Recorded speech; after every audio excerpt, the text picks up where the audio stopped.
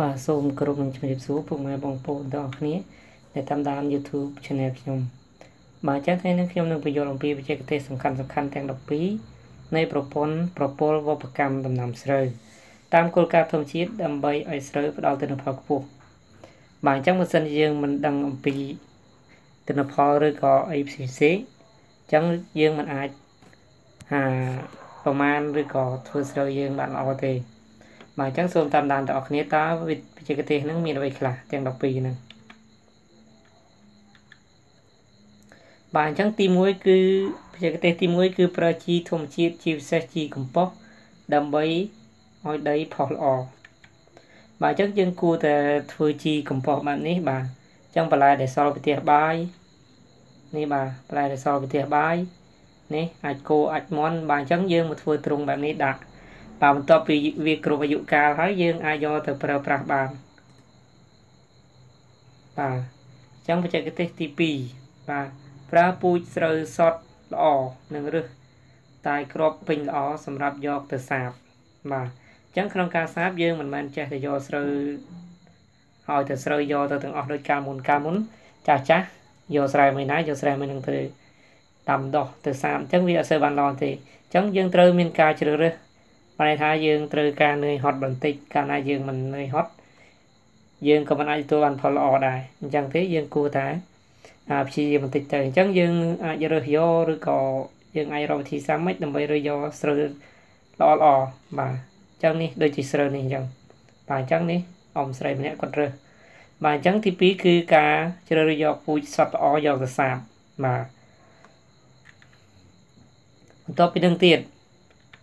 បាទអញ្ចឹងវិធីសាស្ត្រទី3ហើយហើយចំណុចទី3ធ្វើថ្នាលសំណាបគោកហើយសាបស្ដើងដើម្បីឲ្យសំណាបឆ្លោះល្អបាទអញ្ចឹងថ្នាលសំណាបយើងមិនគួរឲ្យមានទឹកពេកទេនេះបាទអញ្ចឹងយើងគួរតែធ្វើបែបនេះបាទន័យថាឲ្យទឹកសើមសើមធម្មតាបានហើយកុំឲ្យជោគពេកបាទន័យថាគ្រាន់តែឲ្យសំណាបនឹងលូតលាស់ទេ បាទន័យថាយើងមិនមែនសាបឲ្យទឹកទឹកលងលងអីអញ្ចឹងអញ្ចឹងទេសំណាបវាដោះមិនសូវល្អទេហើយភាគច្រើនវាអាលួយ បាទអញ្ចឹងបច្ចេកទេសគេគឺតម្រូវឲ្យយើងធ្វើថ្នាលគោកបានន័យថាដីសើមប៉ុន្តែអត់ឲ្យមានទឹកដក់ឬក៏អីផ្សេងផ្សេងទេបាទបន្តមកទៀតបាទចំណុចទី4បាទចំណុចទី4គឺដកថ្នមថ្នមយកតែសំណាបណាថ្លោះថ្លោះរួចយកទៅស្ទូងភ្លាមភ្លាមបាទអញ្ចឹងចំណុចទី4យើងដកសំណាបហ្នឹងយើងមិនចេះតែដកទេគឺយើងនេះបាទគេដកថ្នមថ្នមមួយមួយ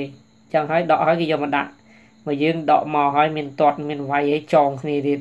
បាទអញ្ចឹងសំណាបវាអាចងាប់ហើយវាក្រិនវាអាចលូតលាស់មិនសូវល្អទេបាទអញ្ចឹងគេដកថ្នមថ្នមហើយ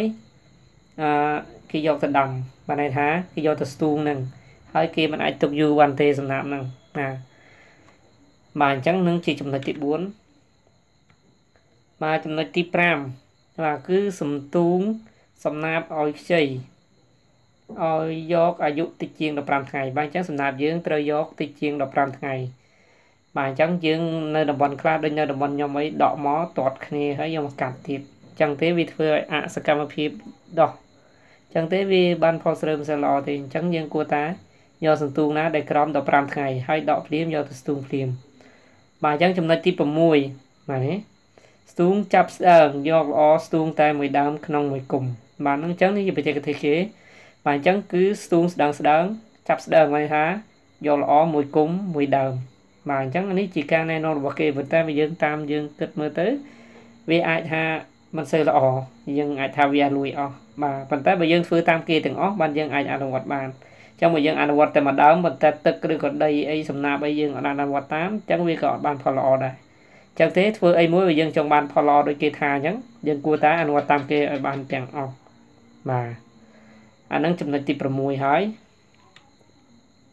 បាទអញ្ចឹងចំណុចទី7ស្ទូងថ្នមថ្នមរាករាកនិងកុំអោយបត់ឬដូចផ្លែសន្ទូចបាទអញ្ចឹងទេយើងត្រូវស្ទូងនឹងអារាករាកទេប៉ុន្តែយើងក្នុងការដកវាចូលក្នុងដីហ្នឹងកុំឲ្យវាបត់មកន័យថាត្រូវឲ្យវានៅត្រង់បាទអញ្ចឹងកាលណាវាបត់ទៅវាអាចងាប់ឬក៏វាអខានមកន័យថាវានាំឲ្យវាអាក់ ក្នុងការដោះវានឹងក្នុងការលូតលាស់ចំណុចទី8ស្ទូងជាជួរដោយចម្ងាយពីគុំមួយទៅគុំមួយស្មើស្មើគ្នាបាទអញ្ចឹងចំណុចទី8គឺស្ទូងជាជួរបាទចម្ងាយពីគុំមួយទៅគុំមួយស្មើស្មើគ្នាបាទនេះជាបាទអញ្ចឹងគាត់ចាប់តែម្ដើមទេបាទនេះរូបភាពអំស្រីនេះគាត់ចាប់ស្ទូងបាទអញ្ចឹងនេះជាការអនុវត្តបែបប្រពលវត្តកម្មបាទអញ្ចឹងប្រហែលជាធ្លាប់ឮហើយបាទអញ្ចឹងថ្ងៃហ្នឹងខ្ញុំ អាចថានិយាយឡើងវិញទេ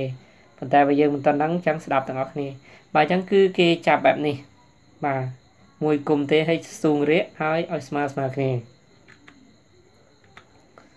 បាទចំណុចទី9ស្ទូង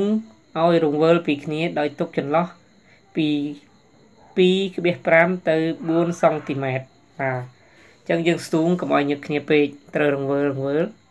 បាទអញ្ចឹងពីអាចថា ប្រហែលជាមួយចង្អាមទៅ2ចង្អាមបាទអ2សង់ទីម៉ែត្រអូតូចទេបាទសូមអធិស្ឋានច្រឡំបាទអញ្ចឹងអឺយើងអាចថាមានប្រដាប់វាស់ឬក៏ស្មានមើលមុនដំបូងកាលណាយើងស្ទូងយូរទៅយើងដឹងដៃហើយបាទអញ្ចឹងនេះគេស្ទូងបាទបាទអញ្ចឹងអានេះគេស្ទូងដោយប្រើម៉ាស៊ីនហើយដាំដោយគ្រាប់បាទអញ្ចឹងអានេះការស្ទូងជាជួរបាទអញ្ចឹងអានេះគេធ្វើស្តង់ដាហ្មងហើយមានខ្សែចងមានអី បាទអញ្ចឹងវាជួរគ្នាទៅល្អបាទហ្នឹងបើយើងធ្វើបានបែបហ្នឹងក៏វាល្អដែរងាយស្រួលក្នុងការយកស្មៅឬក៏មើលអីថែផ្សេងផ្សេងបាទអញ្ចឹងចំណុចទី9គឺចម្ងាយស្ទូងពី2.5ទៅ4សង់ទីម៉ែត្របាទអញ្ចឹងចំណុចទី10ជៀសវាងកុំឲ្យមានទឹកដក់ច្រើននៅក្នុងស្រែពេលស្រូវកំពុងលូតលាស់ បាទអញ្ចឹងពេលស្រូវកំពុងលូតលាស់យើងគួរតែរកវិធីសាស្ត្របែបណាដើម្បីពង្ហូរយើងទឹកចេញពីស្រែហើយហៅកុំឲ្យទឹកច្រើនពេកកាលណាទឹកច្រើនវាអាលួយឬក៏ងាប់អញ្ចឹងយើងអាចថាទុកនៅទីទាបប្រហែល2ទៅ3សង់ទីម៉ែត្របានហើយទឹកហ្នឹងកាលណាលើសពេកអញ្ចឹងស្រូវវាលូតលាស់សូវបានល្អទេបាទអញ្ចឹងយើងអាចថាបង្ហូរចេញឬក៏បូមចេញមកយើងនេះអានេះមួយសិនយើងចង់បានផលខ្ពស់បាទអញ្ចឹងចំណុចទី11 ចំណុចទី11គឺដកស្មៅ និងបំផុសដីឲ្យបាន2ទៅ4ដង ដើម្បីឲ្យខ្យល់ចេញចូលល្អបាទអញ្ចឹងចំណុចទី1គឺយើងបំផុសដីបាទអញ្ចឹងនេះជាឧបករណ៍បំផុសដីរបស់គេបាទគេរុញដោយសារគេដាំជាជួរអញ្ចឹងវាល្អបាទអញ្ចឹងនេះគេធ្វើជាជួរជាជួរអញ្ចឹងគេដកស្មៅអានេះជាឧបករណ៍បំផុសដីកាលណាយើងផុសដីវាដូចជាយើងដាំបន្លែអញ្ចឹងយើងឃើញចាស់ចាស់ជ្រោយដីការពិតទៅអត្ថប្រយោជន៍វា គឺធ្វើឲ្យដីធូរអញ្ចឹងវាមានខ្យល់ចេញចូលអញ្ចឹង ដំណាំស្រូវយើងល្អគ្រប់ដំណាំទាំងអស់គឺត្រូវការដីធូរដើម្បីឲ្យមានខ្យល់ចេញចូលបាទយើងមិនមែនថាឲ្យដីណែនទេកាលណាដីណែនលូតលាស់ស្លោទេស្រូវក៏ដូចគ្នា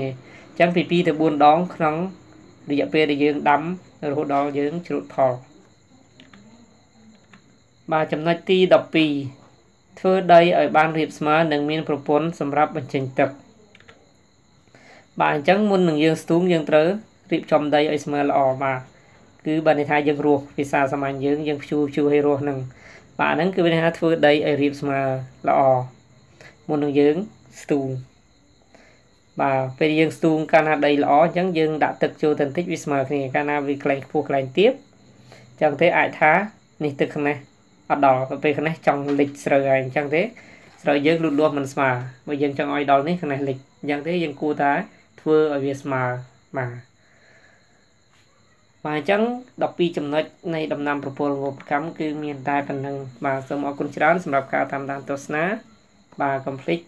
ចុច Subscribe ដើម្បីទទួលបានវីដេអូថ្មីៗទៀតបាទយើងខ្ញុំនឹងព្យាយាមស្វែងរកឯកសារពីកសិកម្មមកបង្ហាញបន្តទៀតបាទសូមជូនពរឲ្យបានជោគជ័យក្នុងការធ្វើកសិកម្មផ្សេងៗបាទសូមអរគុណសូមគោរពលា